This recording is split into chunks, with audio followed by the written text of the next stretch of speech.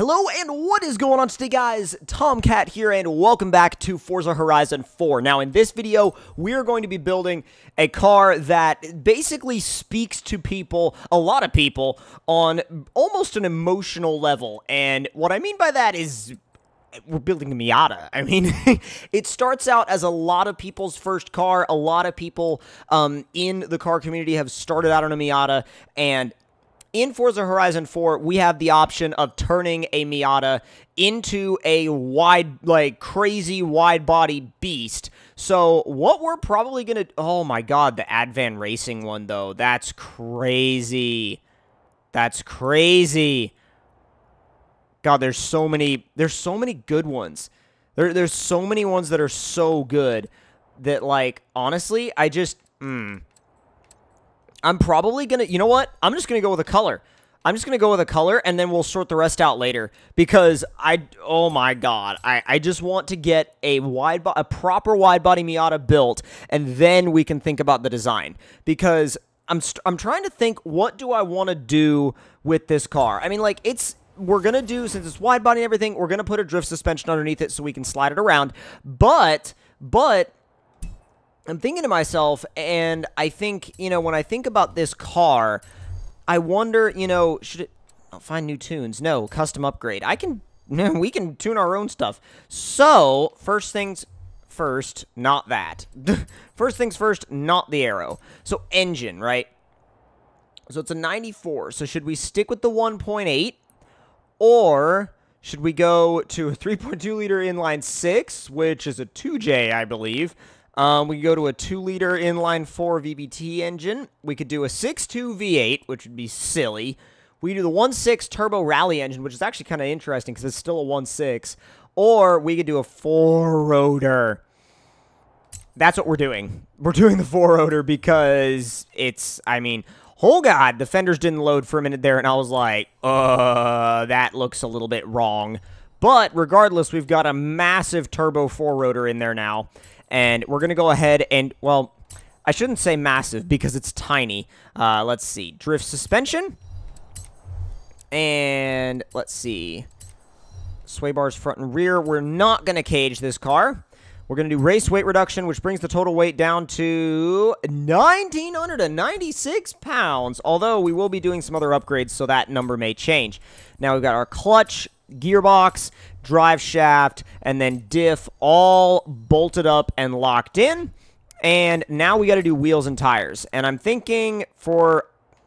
I think I actually do want to put the Horizon race tires on this car just because it's it's it's it's weird. Like just because I want this thing to have some resemblance attraction because it's a tiny tiny little Miata. And even though we're fitting two 95s in the rear, we're still going to need all the traction we can get.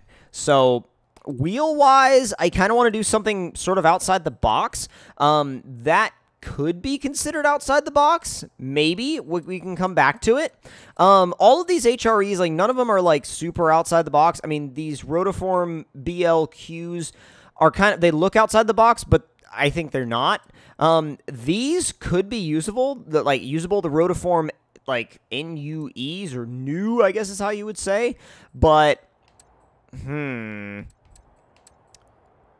Yeah, these look strange, the rotiform VCE Ts. You know what I'm going to do? I'm going to go with these. I've never, I've, I do not think I've ever used them on a car before, actually. I, I, I genuinely don't think I have. So 14, 15, 16. Let's do 15s. We'll do 15s all around. 15s just fit well on a Miata. They just work for a Miata. So we'll take the restrictor plates off of that rotary engine. And now we have ourselves a little beast that needs paint. And it needs paint because the wheels and the body color do not match up. They really don't. They're just like, no. So let's go ahead and back out, and then we'll go to our designs and paints, and we will go straight to painting the car. Now, I don't really know what color I want this car to be, like, at, at, the moment off the top of my head. I know I don't want it to be lime green, though, so that's, that's for sure.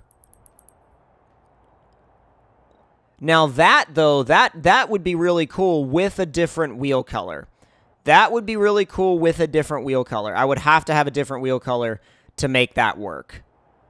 But you know what? You know what? You know what? That's actually not terrible. That's actually not terrible. I kind of want to run it. And then we'll go straight to the wheels. And for the wheels, I think... Hmm... I think I kind of want to do something that's... Uh-oh. No, I didn't want that, though. didn't want that. That's not at all along the lines of what I wanted this car to have. But, let's see. Mm, I still don't really... Still don't really dig what it's doing, but let's... Here. So, does this... Does turning the brightness down just basically... Okay, so that just pretty much makes... It just brings the shadows out more. So, but it does it a lot on the lip of the wheel, which is interesting. So let's just okay that for now. And then we'll do the... Oh, wait. We already did the base color. Let's do the flake color. Because the flake color is what will change, like, the... Yeah, there we go. That's what's going to change, like, the majority of the, the wheel color itself. That combination is so ugly. I was going to say, that combination is so bad. Now, if we turn the brightness all the way down on this, there we go. Okay, and I'm not the biggest fan of that blue lip, especially on this body color, but, but, we can go ahead and do, I was going to say, we can go ahead and do an accent with that that will try to get close to the actual car color, which is going to be kind of hard because the car color itself is a weird mix. But, mm, we may be onto something there. Right about, maybe just a tiny bit, tiny bit more blue. I say a tiny bit more blue and we might have it. Yeah, right about there. Right about there. Right about there. I mean, it's like it's it's like this weird medium because the car changes color and the lips of the wheels don't. But it, eh, I don't know. It's it's a really tough balance to get right. You know what I mean? It's a really, really, really tough balance to get right. But eh, it's close, and I think for like a quick build, it, it didn't come out too bad. Now, as far as driving it though, that that is the part I'm looking forward to. So let's go ahead and do a little bit of tuning. And we'll, let's see. We will run, trying to think like maybe a 410. It's going to have so much wheel spin, but screw it. Um, a little bit of toe out in the front and soften the front sway bar. Soften it a good, good bit, like soft, soft. And then, and actually stiffen the rear just a little bit as well. And let's see, ride height's all the way down as would be expected. Um, let's make the front springs just a little softer. And then brakes we'll leave alone for now. And let's bump this up to about, well, I'm going to say, yeah, 100%. And then 75% on decel. All right, so our little Miata is ready to go rip, or at least supposedly ready to go rip. And, oh, wait. Wait, we forgot something. We forgot something. Genuinely. Because I didn't check to see if there was a big wing option available. Let's see. So we'll go all the way over, and there there may be Hey, ooh, oh my god, I love how like you have a choice. You can use like the Garage Vary lip instead of like the Rocket Bunny one if you if you really wanted to. Um, I'm gonna kind of keep that uniform Rocket Bunny, but let's see, Racing Beat, Rocket Bunny, let's see, or Mazda to take it off. I kind of like that, but at the same time, I I don't know. I wish there was a different like wing option. Hmm. Or on the Racing Beat rear bumper. And hood-wise, yes, the Garage Vary hood. There we go. Okay, so now... I was to say, now, now this thing is good. I knew we were forgetting something, and it was a little, like, the little finishing touches on the body. But now that we've got everything and we're good to go, now we should be able to go and run it. And I'm curious as to how that setup is going to react because I've used that setup on a variety of cars with pretty good success, but Like, this thing, though, like, oh, wow, it changes color a bunch in the sun. My God. And the wheels, holy crap, they change color a bunch in the sun, too. It's very, very different. Like, I don't know how I feel about it now that I've taken it out of the garage. Woo!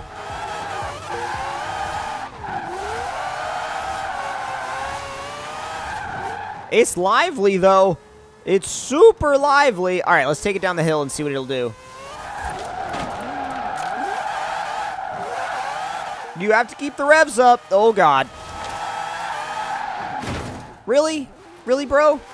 You have to keep the revs up a lot, and obviously because it's a rotary, but also the, the interesting thing is when you jump from like a Formula uh, Formula D car pack car into something like this, it takes you a minute to realize that you don't need to just be in fourth. You can actually shift up higher than fourth, which is like a big deal if you've been just shifting to fourth for a while. Might want to make that fifth gear ratio just a little closer.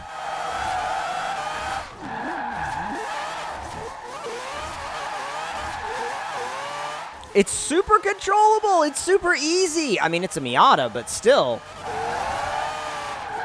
It definitely retains that Miata-ness. Miata character, or whatever it is you want to call it, dude. Like, continue my combo just a little bit. I know it's a really ugly way to continue my combo. I just wanted to kind of do a little... Ah, it banked it. Really?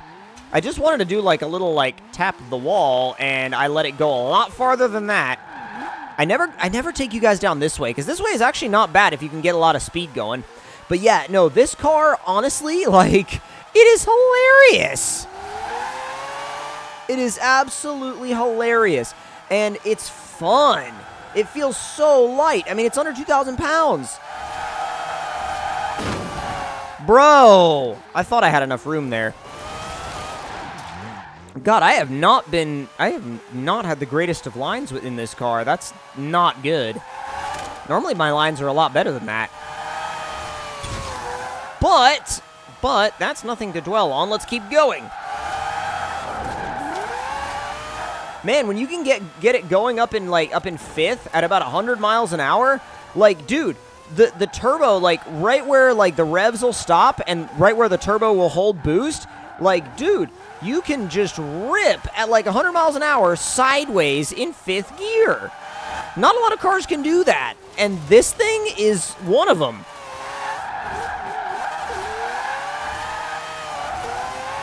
It's so much fun. It's so much fun. Big burnout. There we go. Yes. It's so much fun to drive. Oh god, seeing that Miata steering wheel is just like weird when you're hearing that sound and like going this fast. Come on! There we go!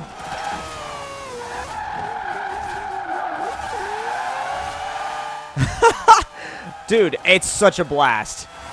You need to build one. And honestly, like, this makes me want a Miata. Like, stuff like this makes me want, like, to build a crazy Miata, like, in real life. Like, I, driving this car now, it's like, yeah, yeah, I wouldn't mind having a crazy Miata of some sort.